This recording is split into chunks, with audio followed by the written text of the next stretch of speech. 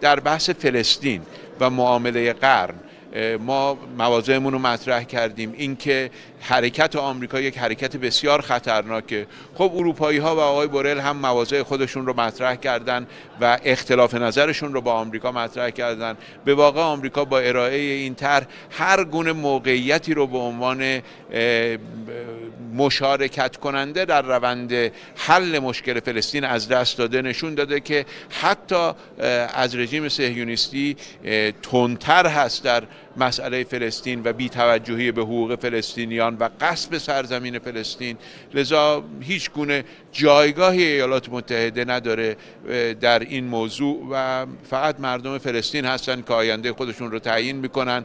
پیشنهاد مقام معظم رهبری به عنوان طرح رفراندوم در فلسطین به نظر ما معقولترین و معتبرترین و عملیترین راهکاری هست که می‌تونه در فلسطین کار بکنه.